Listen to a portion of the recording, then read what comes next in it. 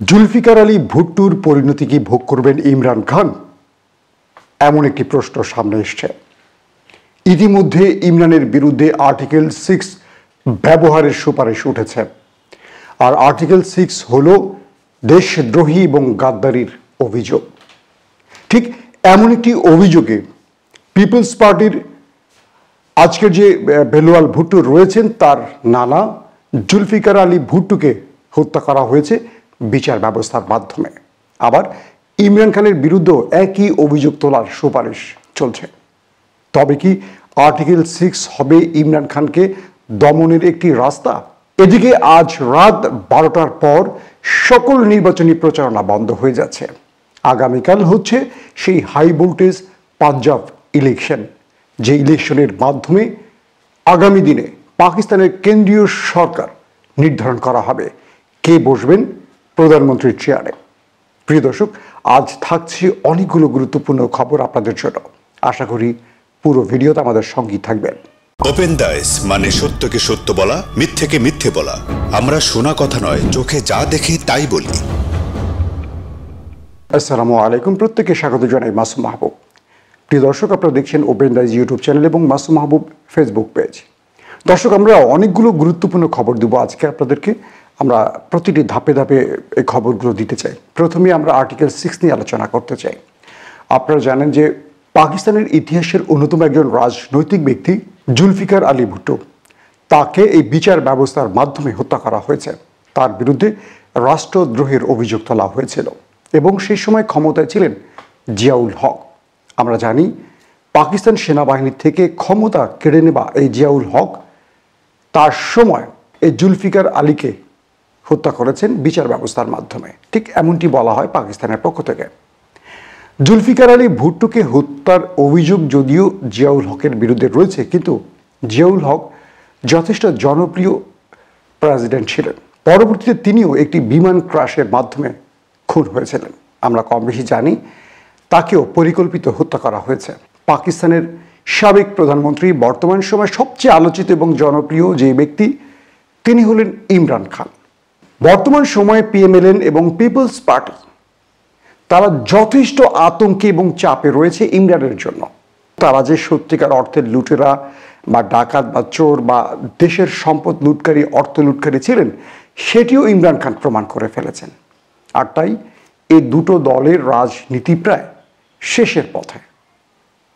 আর তারা যে কোনোভাবে রাজনীতি করতে হলে, বেঁচে থাকতে হলে ইমরান খানকে সরাতে হবে এর পথ থেকে। এই পথ থেকে ইমরানকে সরাবার জন্য কোনো পথ খোলা নেই, কারণ দেশের জনগণ ইমরান খানকে বিশ্বাস করেন এবং ইমরান খানকে চাইছেন।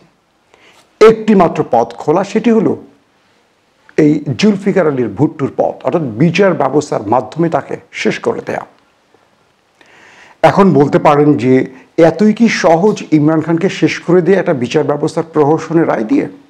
যেহেতু জুলফিকার আলী ভুট্টু আর ইমরান খানের সময়টি এক নয় তখন মানুষ এত রাজনৈতিকভাবে সচেতন ছিলেন না। আজকের মানুষ চায়ের দোকান, কফি হাউস, ছোট ধাপা কিংবা হোটেল, মোটেল যেখানেই যান না কেন প্রত্যেকেই রাজনৈতিকভাবে সচেতন। দেশের মানুষ জানেন কে চোর, কে লুটেরা আর কে সৎ নেতা। বিচারপতিরা একটি আদালতের রায়ের মাধ্যমে একজনকে ফাঁসি দিয়ে দেবেন আর দেশের মানুষ চোখ বন্ধ করে দেখে যাবে। এটি বোধহয় সেই সময় আর না। এটি বিচারপতিরা জানেন, কারণ বিচারপতিদেরও মাথার উপর ছাদ আছে, পিঠে ছাল আছে। তাহলে আমরা প্রশ্ন করতে পারি, বিচার ব্যবস্থা কি শেষ পর্যন্ত ইমরান খানকে ফাঁসাতে পারবেন? তবে এই বিষয়ে ইমরান খান খুব শক্ত বক্তব্য রেখেছেন। তিনি বলেছেন, আমি চাই আমার বিরুদ্ধে বা তেহরিকে ইনসাফের বিরুদ্ধে আর্টিকেল সিক্স ব্যবহার করা হোক। তাহলে আমি রাষ্ট্রের কাছে সুপ্রিম কোর্টের বিচারপতিদের প্যানেলের সামনে দাঁড়িয়ে বলতে পারব, এ রাষ্ট্রের বিরুদ্ধে ষড়যন্ত্র হয়েছে। কারণ আমার কাছে প্রমাণ রয়েছে। কারণ এখন পর্যন্ত সুপ্রিম কোর্ট বারবারই তাদের রায় বলছে কোনো ষড়যন্ত্র হয়নি। কিন্তু স্পিকার, প্রধানমন্ত্রী, প্রেসিডেন্ট যে চিঠিটা সুপ্রিম কোর্টের কাছে পাঠিয়েছিলেন, সেটা কি তারা তদন্ত করেছেন? করেনি। কেন করেননি? কারণ তারা জানেন ষড়যন্ত্র হয়েছে। আর তাই ইমরান খান বুকে সাহস শক্তি নিয়ে বলেছেন, আসুন, আমার বিরুদ্ধে আর্টিকেল সিক্স ব্যবহার করুন। আমি গাদ্দার, আমি রাষ্ট্রদ্রোহ অভিযোগে অভিযুক্ত। প্রমাণ করুন। মনে রাখবেন, কোর্টে যদি আমি যাই, তাহলে যারা রাষ্ট্রের বিরুদ্ধে ষড়যন্ত্র করেছে, তাদের প্রত্যেকের নাম প্রমাণ সহ বলে দেব। ঠিক ইমরানের এমন ধমকে মোটামুটি স্টাবলিশমেন্ট এবং সরকার আবার সুর নরম করলেন। তাহলে আমরা বলতে পারি আর্টিকেল সিক্স দিয়ে ইমরান খানকে দমাতে পারছে না ষড়যন্ত্রকারীরা। কারণ ইমরান খানের কাছে রাষ্ট্রের বিরুদ্ধে ষড়যন্ত্রের প্রমাণ রয়েছে আর সেটি তিনি প্রমাণ করে দেবেন। এবার আসছি দ্বিতীয় প্রসঙ্গে। পিটিএর অনেক নেতাকে পাঞ্জাবে ঢুকতে দিচ্ছে না বর্তমান সরকার। তাদের বিরুদ্ধে অভিযোগ, তারা সন্ত্রাস করার জন্য পাঞ্জাবে আসছেন। আর তারা সরকারে বসে পুলিশ বাহিনী দিয়ে সাধারণ মানুষকে যে নির্যাতন করছেন, তারা মানুষের বাড়ি ঘরে যে হামলা করছেন, মানুষকে তুলে নিচ্ছেন, গুম করছেন, খুন করছেন, তারা একেবারে ফেরেস্তা রাষ্ট্রীয় ক্ষমতা পেলে কিছু কিছু রাজনৈতিক দলগুলো ভুলে যান যে কখনো কখনো ক্ষমতা হারাতে হতে পারে। এরকম দৃশ্য বোধ করি আমরা বাংলাদেশেও কম বেশি দেখেছি বা জানি বাঙালিরাও। যে শাহবাজ শরীফ বা জারদারি সাড়ে তিন বছরে ইমরান খানের একটা চুল নাড়াতে পারেননি আন্দোলনের নামে। আজ তিনি ক্ষমতায় বসে পুলিশকে ব্যবহার করে, রেঞ্জারকে ব্যবহার করে, সকল নিরাপত্তা বাহিনীকে ব্যবহার করে, সেনাবাহিনীকে ব্যবহার করে টিকে থাকতে চাইছে। কিন্তু তাদেরকে জনগণ তো চাইছে না, আর সেটি তারা বুঝে গেছেন।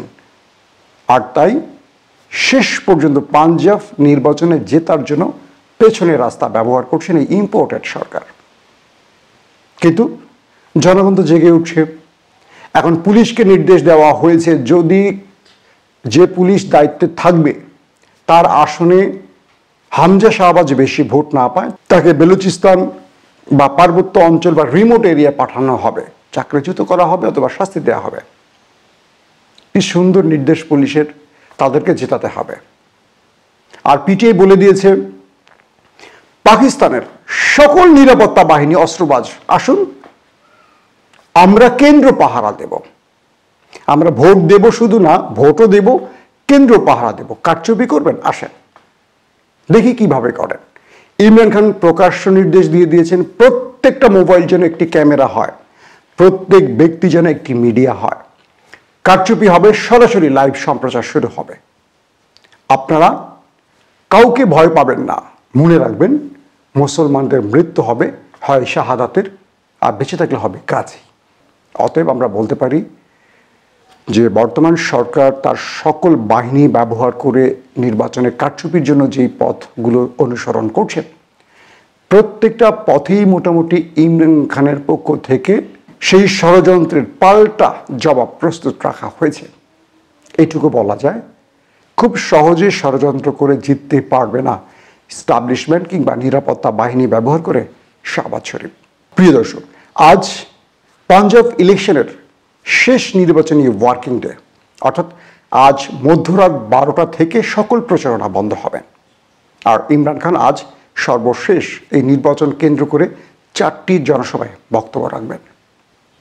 আমরা গতকাল মুলতানে দেখেছি মারিয়াম নওয়াজ বক্তব্য রেখেছেন। ইমরান খানের জনসভায় যে লোক সংখ্যা হয় তার দশ ভাগের এক ভাগও তো লোক হয়নি। উল্টো সরকারি নির্দেশনা পুলিশ বা বিভিন্ন নিরাপত্তা বাহিনী গিয়ে গার্মেন্টস কারখানার মালিকদেরকে হুমকি দিয়ে এসছেন। গার্মেন্টস কারখানা বন্ধ করে তাদের শ্রমিকদেরকে জনসভায় পাঠাতে হবে, নতুবা সেই কারখানাগুলো বন্ধ করে দেওয়া হবে। মালিকরা ভয় পেয়ে শ্রমিকদের পাঠিয়েছেন আর শ্রমিকরা সেই জনসভায় এসে প্রকাশ্য গণমাধ্যমের সামনে বলে দিয়েছেন যে আমাদেরকে ধমক দিয়ে আনা হয়েছে। আমরা পিটিএর কর্মী পিটিএকে ভোট দিব, ইমরান খানের দলের লোক আমরা। আমরা মরিয়মকে ভোট দেব না, কিন্তু মরিয়মের পক্ষ থেকে আমাদের ধমক দিয়ে এখানে আনা হয়েছে। ব্যাস, সঙ্গে সঙ্গে মরিয়ম নওয়াজ বেলুনের মতো ফুস হয়ে গেলেন। অর্থাৎ একটি দেশের জনগণ যখন কথা বলতে শুরু করে দেয়, ভয়কে জয় করে ফেলে, তখন অস্ত্রবাজরা যত পোশাকই বড় মাস্তানি হোক না কেন, রাষ্ট্রের যত বড় মাস্তানি হোক না কেন, কিচ্ছু করার থাকে না। প্রিয় দর্শক, হামজাকে জেতাবার জন্য শাহবাজের হাতে একটি অস্ত্র আছে। আর সেই অস্ত্রটি হলো প্রশাসন, রাষ্ট্রীয় যন্ত্র, গণমাধ্যম এবং এস্টাবলিশমেন্ট আমরা এই বিষয়টি একটু বলেছি আগেই। এখন সেনাবাহিনী কি প্রকাশ্য ইমরানের বিরুদ্ধে দাঁড়াতে পারবে? অবশ্যই পারবে না। সেনাবাহিনী বা গোয়েন্দারা বা আইএসআই পারবে কি হুমকি, ধমকি দিতে প্রাইভেট নাম্বার থেকে?